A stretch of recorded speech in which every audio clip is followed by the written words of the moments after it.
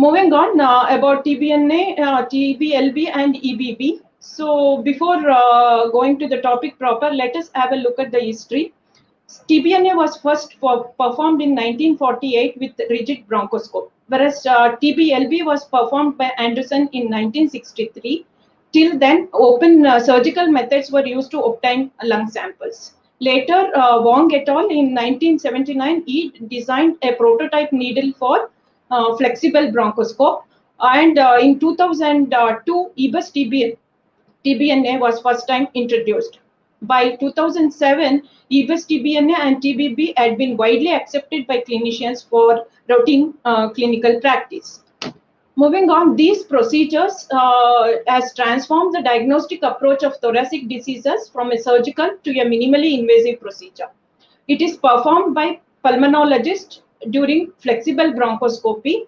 The aspiration is done by using 21 by 22 gauge needle, whereas the biopsy by using flexible forceps. So we have two types of uh, this uh, TBNA or TBB. One is called as CTBNA, other one is EBUS TBNA. CTBNA is called as conventional TBNA or TBB, where uh, this is a bronchoscopic procedure without the aid of endobronchial ultrasound.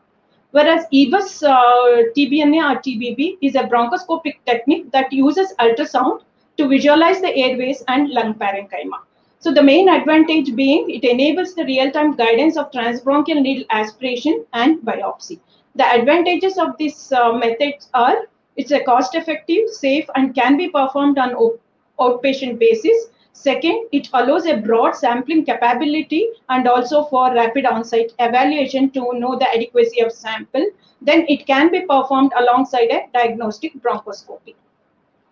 Moving on, this is our bronchoscopic suite with uh, Rose Station. This is a uh, flexible uh, bronchoscope with uh, ultrasound probe and this is the cannula to insert the needle for aspiration or uh, the forceps for, to take the tissue sample.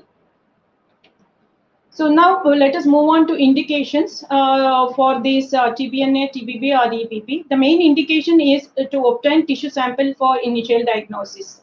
To establish whether it is a infectious, inflammatory or a neoplastic etiology. And uh, the conditions like uh, the patients with pulmonary diseases, endobronchial masses or endobronchial lesion, peribronchiolar lesion or mediastinal lymphadenopathy or mediastinal masses and also it can be used for uh, to obtain samples for microbiological study like uh, either for bacterial or fungal culture.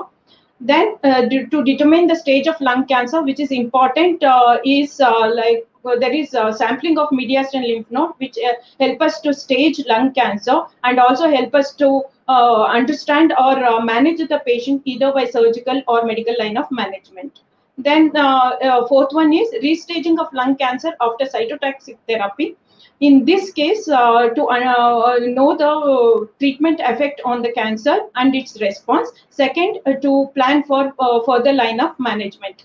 Then evaluation of tumor genetic markers. This is indicated in patients with non-small cell lung carcinoma with adenocarcinoma histology when these patients are uh, planned to give targeted therapies.